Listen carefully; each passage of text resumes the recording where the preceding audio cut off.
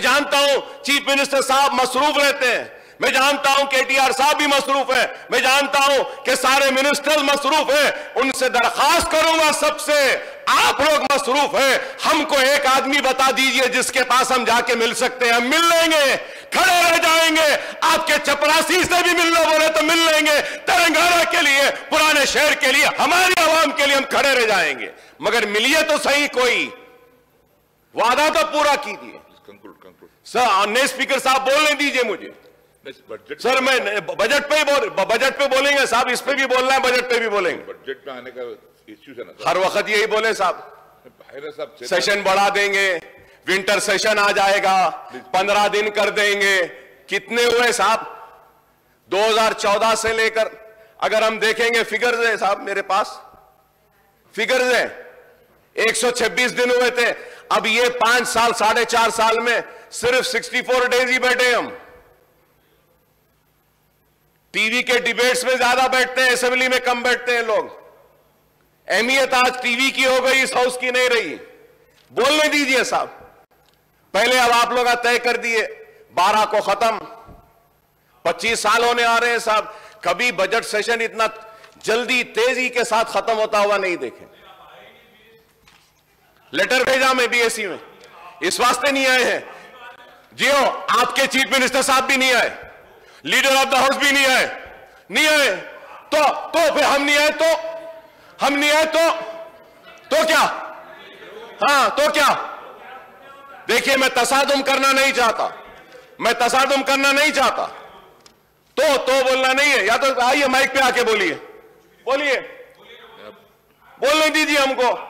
Please conclude please conclude वही तो बोल रहा हूं मैं तो आप माइक नहीं लेते हैं आप वैसे ही बोलते हैं आप माइक लेकर बोलिए ना अकबर साहब बोलिए आप प्लीज कंक्लूड प्लीज इतना गुस्सा आप लोग को इतनी नाराजगी कि फिर क्यों भाई बोलने दीजिए ना बोलने दीजिए शिकायत क्या है साहब शिकायत क्या है बताइए స్పీకర్ సార్ స్పీకర్ సార్ సభ అన్నప్పుడు కొన్ని మర్యాదలు కొన్ని పద్ధతులు ఉంటాయి సార్ ఇప్పుడు వాళ్ళ సభ్యులు ఉన్నది మొత్తం ఏడుగురు.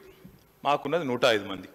మరి ఏడుగురు ఉన్న వాళ్ళకు మీరు గంట గంట టైం ఇస్తే గంటల గంటల పాటు ఆయన గవర్నర్ ప్రసంగం మీద కాకుండా బడ్జెట్ మీద మున్సిపల్ పద్దు మీద మాట్లాడినట్టు మాట్లాడితే దానికి మేము అభ్యంతరం పెడతా అంటే కూడా ఆయనకు ఆవేశం ఎందుకు సార్? రెండోది సార్ వారు మాట్లాడుతున్నారు.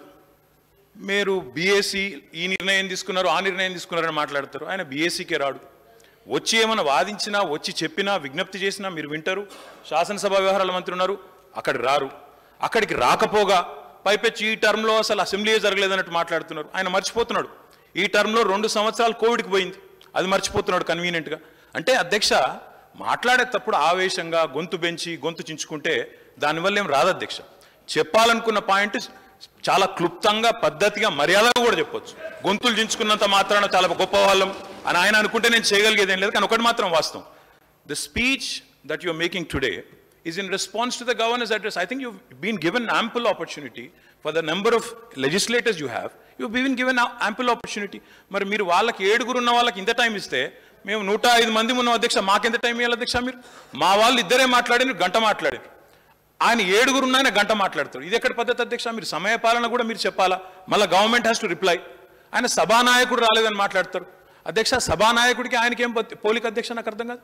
సభానాయకుడి స్థానంలో మా గవర్నమెంట్ తరపున శాసనసభ వ్యవహారాల మంత్రి వచ్చినారు ఫైనాన్స్ మినిస్టర్ వచ్చినారు మా స్పోర్ట్స్ మినిస్టర్ వచ్చినారు నలుగురు మంత్రులు ఉన్నారు నిన్న బీఎస్సీ మీటింగ్లో ఆయన రాకపోగా లీడర్ ఆఫ్ ఆపోజిషన్ గా ఆయన బాధ్యత నెరవేర్చకపోగా పైపెచ్చి ఇంకేదో మళ్ళీ మీదికి వెళ్ళి నిందాపూర్వకంగా మాట్లాడడం మంచిది కాదు मैं अकबर साहब से भी रिक्वेस्ट करता हूं आप आज गवर्नर स्पीच पे आप आपकी सजेशन आपके इनपुट आपके जो भी कमेंट्स है आप दे रहे हो उस बात पे गवर्नमेंट जरूर रिप्लाई करेगी but to make sweeping remarks saying the government is not functioning ministers are not available ఇది మంచిది కాదు అధ్యక్ష మంచి ధోరణి కాదు.